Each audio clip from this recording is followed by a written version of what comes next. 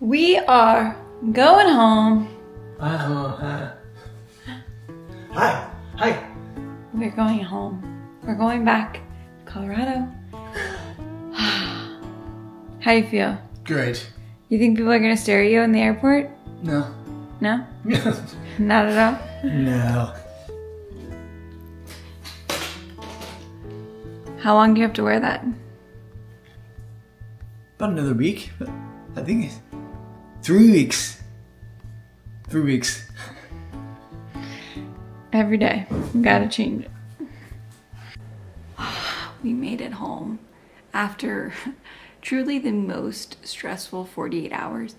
We are home. We've been home for a couple days and it feels so freaking good to be home. It's been kind of a wild few days of being back because I have been utterly exhausted, like not wanting or feel up to doing anything. And Kyle, who is less than two weeks out from having brain surgery, has been Energizer Bunny, like wanting to do everything. And I'm like, whoa, slow down, like you need to be resting. But he feels so good that he just wants to go, go, go. He's like been cleaning up our house plants and like tidying things and just moving. He is experiencing like discomfort of like light sensitivity, so he can't really be on any screens, which is probably for the best. And he's been wearing his sunglasses around the house because light just is like really sensitive to him at this point in time. So he's like this cool dude wearing his sunglasses around the house. But I have just been literally vegged out as a potato on the couch for the last couple days and feeling guilty because Kyle's up like moving and I feel like for me I finally have been able to like finally relax. Maybe not relax but just like my body's exhausted from holding everything for the last couple weeks couple months couple years and just finally being able to like do nothing and needing that. Yesterday though I had energy to do some things and not be physical. So I finally made calls for appointments because for the last two years I have honestly not taken care of myself.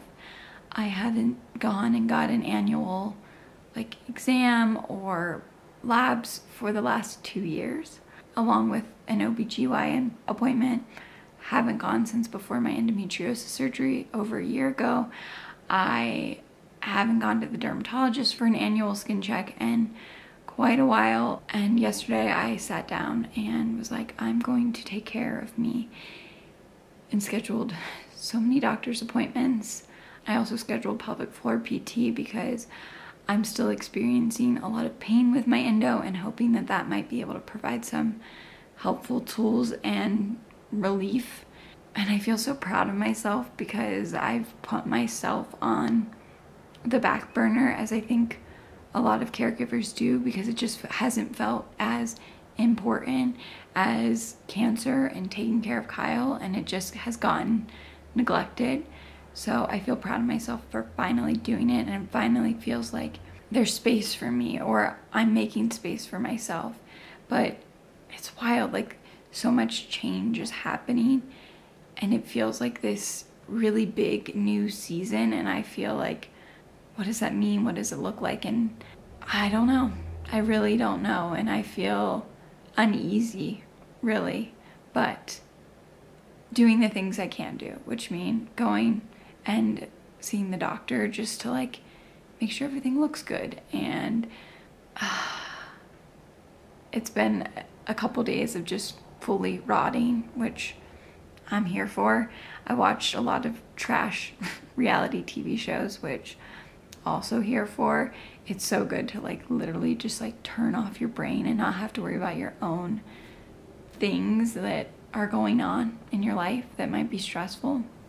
But we are home. We are home and it feels like we can breathe a lot deeper the leaves are changing, fall is coming, and it just feels like this very clear transition of like a new beginning. It snowed the other day. our first day back. Like we woke up the next morning, there's snow on the ground, and it just feels like we're home and things are looking up. It's kind of ironic though because we feel like we're like kind of moving into this like internal spring, like new things are budding where nature is reflecting us this like deep wintering is coming of being internal. So it feels like that we're kind of misaligned with what's happening in nature.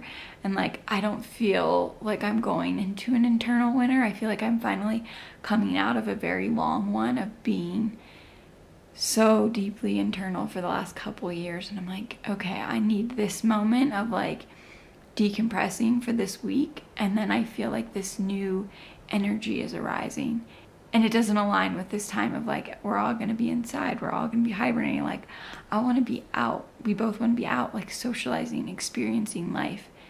And that's not to say we can't do it but it's just different than what is happening in nature you know? Now comes the time of like shedding leaves and decomposing. And if i think about it in that sense we are shedding leaves. We are decomposing what no longer serves us which it's actually really beautiful. So maybe I was wrong. Maybe that is exactly where we're meant to be, and it's so perfectly aligned. Because Tommy is gone. Also, the craziest thing we went and saw our Chinese medicine doctor a couple days after we got back from Arizona. Every time we've seen him, when he takes Kyle's pulse, he always says he has a deep fast pulse, which in Chinese medicine indicates that there's a tumor present, cancer is present. And when we saw him, he didn't mention this deep, fast pulse.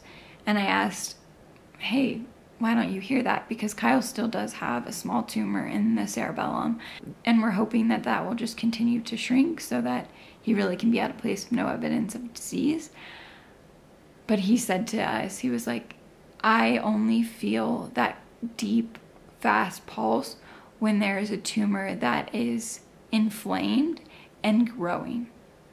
If a tumor is stable or shrinking, you don't hear that. And that just like gave us goosebumps of like so much hope and reaffirmed that knowing that we both carry that like the healing is happening and it will only continue to happen and all right, I need to go get this day started because, you know, I have things I need to get done and I'm going to bring you along. I need to prep some food that I meant to do two days ago, but I just did not have energy to get off of the couch. So I'm just going to prep some stuff that we can grab to like throw in a bowl to make lunches and things like that. Prep some flatbread toast that I've been loving that's made from lentils and then I think Kyle and I are gonna go leaf peeping because they are turning and they are so beautiful.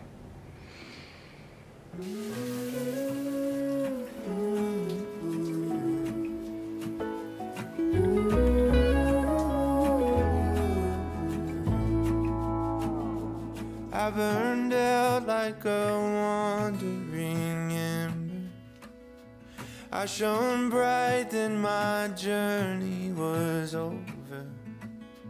What I sought when I ran was back where I began.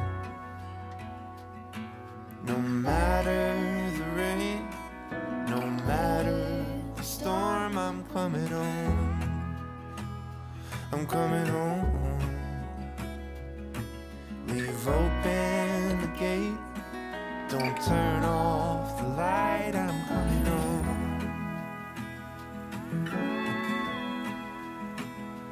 Well,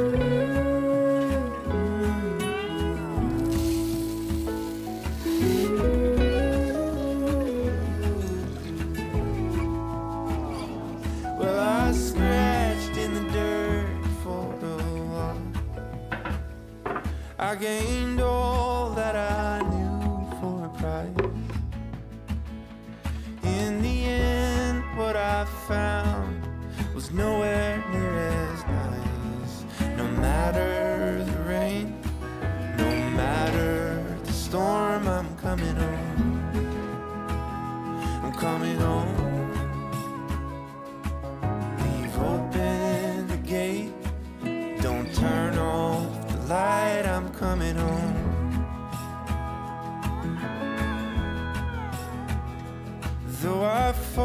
With my claws and teeth.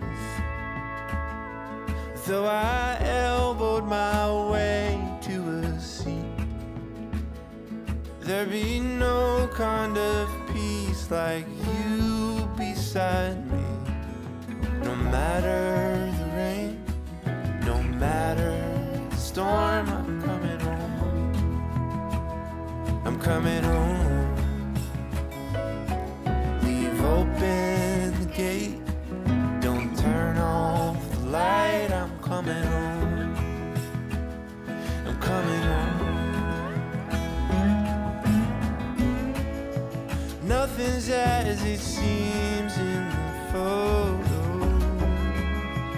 Nothing is as sweet going solo.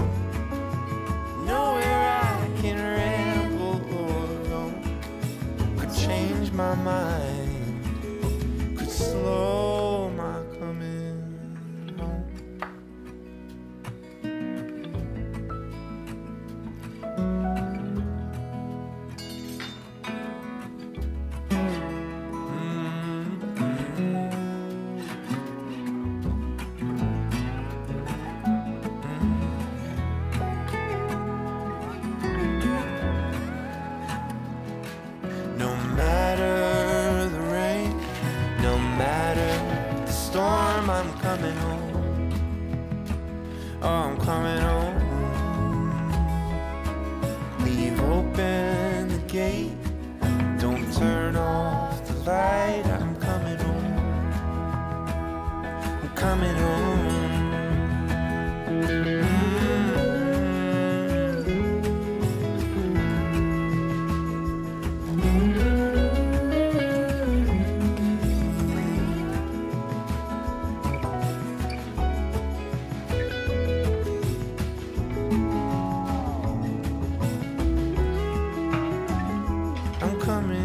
Apparently, I still don't have energy.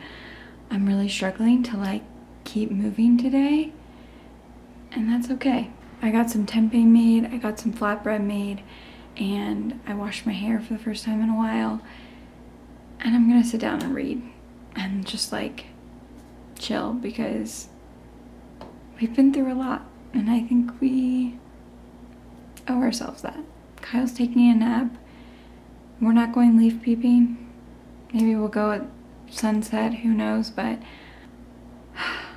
just moving really slow these days, and that's okay. It is absolutely okay to move slowly. We're not told that in our culture, but it is, and it's hard to let go of that because we feel it in our body that need to keep moving, but it's okay to just sit down and not be productive that is the reminder that I needed today, and maybe that's the reminder you needed today as well.